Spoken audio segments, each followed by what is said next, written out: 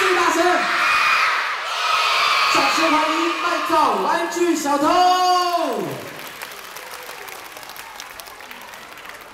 老师觉得他们的心情怎么样？很兴奋，就是很期待这出的演示。那因为有的小朋友他还没有这样子的剧团的看剧团的初体验，今天是他们的初体验，这样子。对，再大声一点。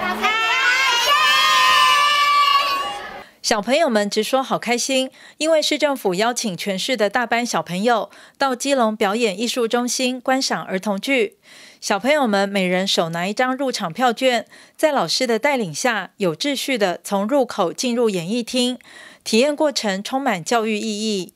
对，然后还有跟孩子的互动，对他们今天来都很开心。对，真的很谢谢有这个活动。对，谢谢。因为前几天开始期待哦，会很期待。我们会跟跟他们开始讨论说，啊，你们会觉得会，因为我们有跟他们讲剧名是什么，他们觉得说，你们觉得这个在演什么呢？那他们就会有天马行空的一些想象想法。对，我们说，那我们今天就来看看是不是跟我们想的一样。对，然后会跟他们讨论说，呃，来看戏要注意什么事情。对对对，包括从游览车啊，然后到到戏剧的现场。对，然后还有等待的时候要注意什么事，还有跟戏剧的演员互动，因为我们座位在很前面，所以我们有跟他们提醒说，就是互动的时候要注意的一些礼貌。对对。今年由如果儿童剧团带来精心策划的儿童剧，在小朋友热情的呼唤下，四只可爱的小恐龙一一上场。故事主要是传递分享的快乐，市长谢国良也亲自到场与小朋友同乐。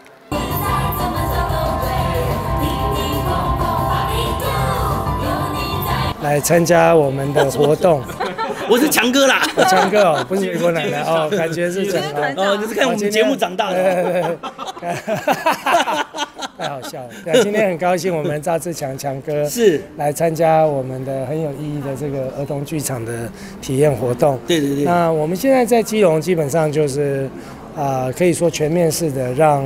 啊，孩子在基隆长大，甚至让外地的父母带孩子到基隆游玩，都能够有一个好的体验、舒适的环境跟一个很多元的玩法。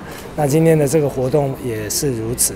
谢谢强哥今天的到来，跟我们增添光彩。谢谢，谢谢市长，谢谢谢谢。也希望有机会能够呃更多的艺术工作者、表演艺术家，或者是其他的各类型的艺术工作者。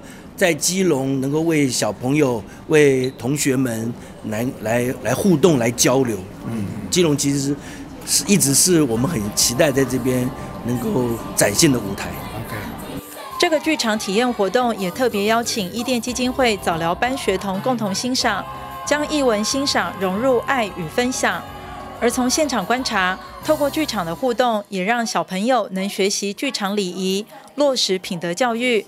借此学习到课本以外宝贵的知识和经验。